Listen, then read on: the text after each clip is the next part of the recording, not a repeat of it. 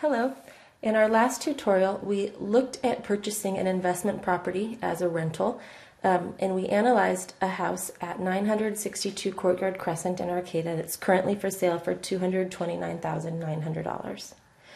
What we're looking at is to see what our cash flow from that investment would be. And so we found that by starting out calculating our net income using our value drivers, and then knowing that not all of our expenses namely depreciation or cash expenses, we adjusted our net income to show how much cash we would receive. And we used two methods to calculate it. In the tutorial that we're going to do now, we're going to use information from this tutorial to see whether or not 962 Courtyard Crescent is going to be a good investment. So in this spreadsheet, I have ourselves set up to do two profitability analysis on that property. One where we ignore salvage value, it's a good introduction. Um, we just analyze the cash flows of purchase and rent. Even though we know we can sell it for money when we're done with it, right? We're going to ignore that for simplicity's sake. Then, after we kind of master that, we're going to calculate a salvage value and see how that changes things. So, the first thing we're going to do is update our value drivers our discount rate, our purchase price, and our cash flows. And all of that data is in this sheet that's called Calculating Cash Flow. In Excel, that's no problem. We just say, oh, that's not our discount rate.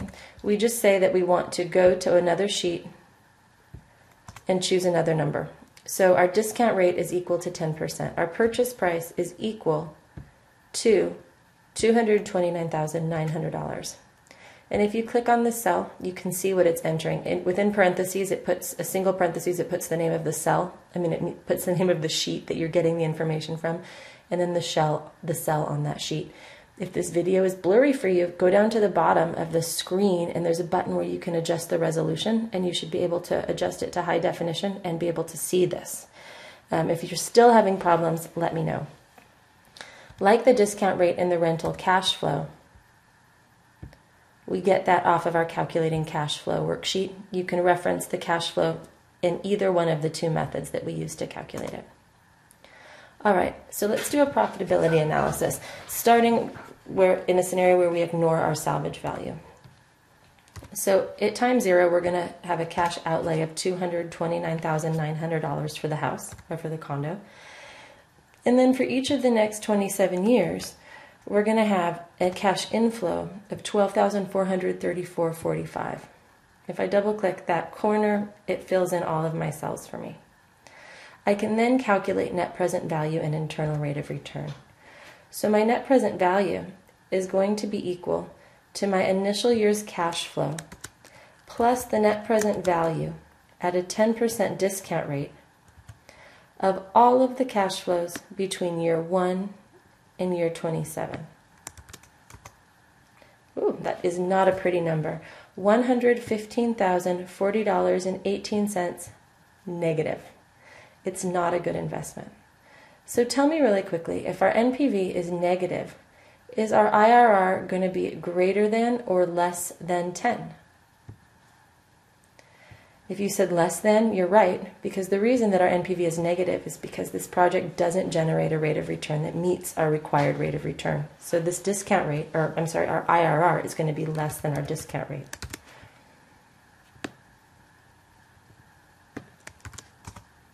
And there we have it at 2.93%.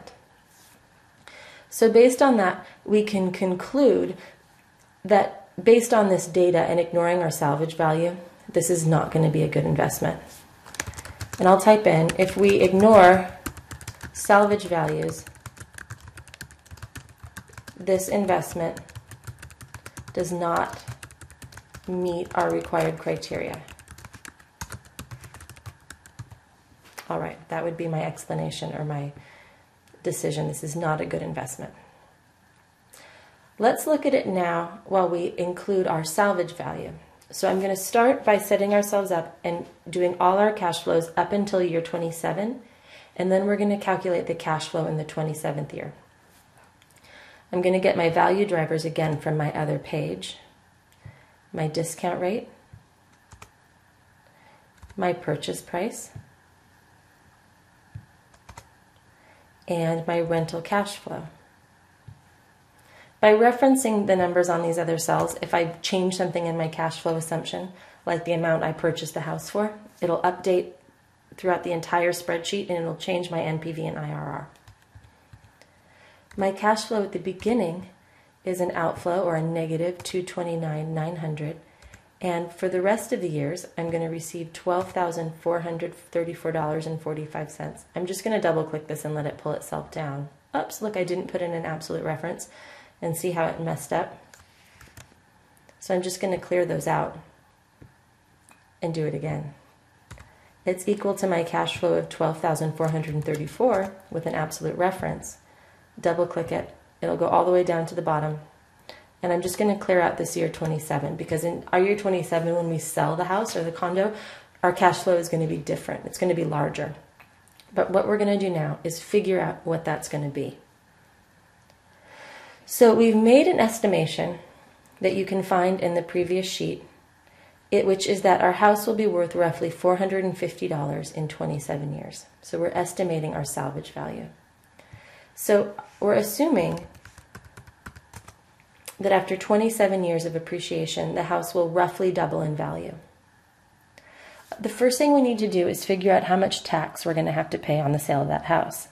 And in order to figure out the tax that we're going to need to pay, we need to figure out how much we've depreciated the house over time so that we can figure out the book value. Because as you probably remember from your accounting class, you're only going to have to pay taxes on the gain. That is the amount you receive in excess of your book value. So we have to figure out how much depreciation we've had on the property. Well, we've depreciated the property for 27 years, and every year we depreciate it by our depreciation rate multiplied by the house price.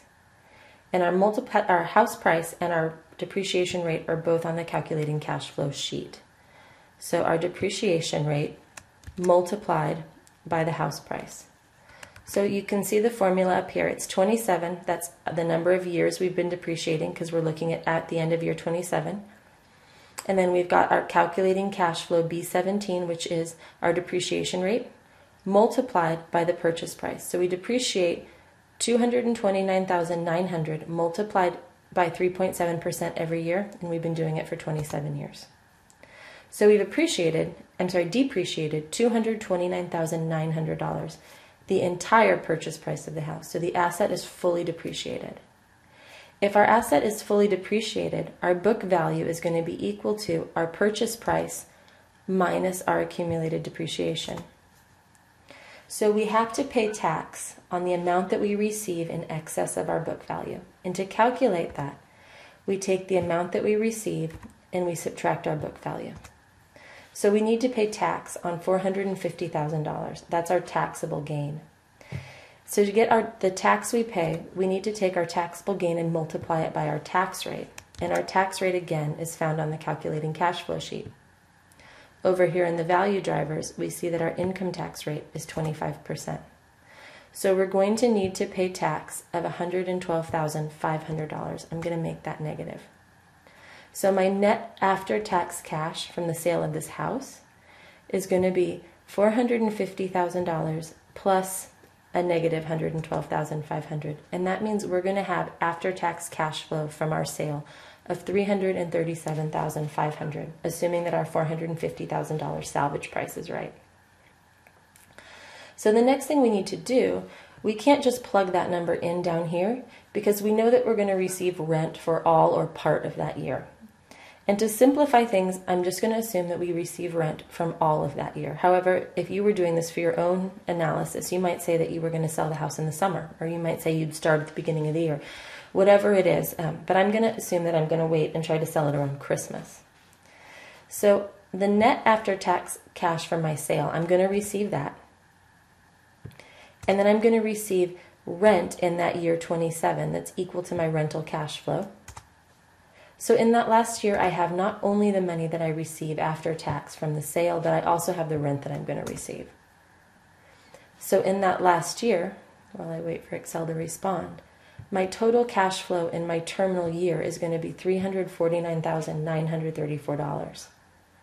I take that number and that's what I plug in here for my last year. Because in my last year, I'm going to sell the house, pay some tax, and receive some rent. And because I already have this calculated net of taxes, I don't need to make any other changes. So let's see if this changes our cash flow, our net present value, and internal rate of return enough to change our investment decision on this property. So our net present value is equal to that initial cash outlay plus the net present value of our cash flows discounted at our required rate of return of 10%.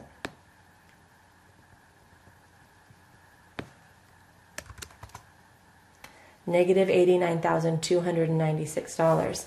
So I can still tell that my IRR is not going to be 10%. Let's see what it is.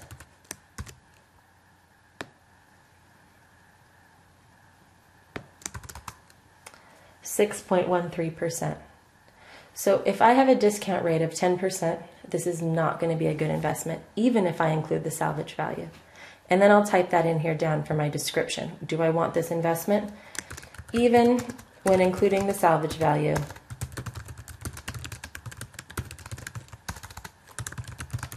this house is not a good investment. And if you're looking at purchasing rental properties, you can do this for every house on the market and you'll probably find some that look good. So I hope this tutorial was helpful and uh, email me if you have any questions. Thanks a lot.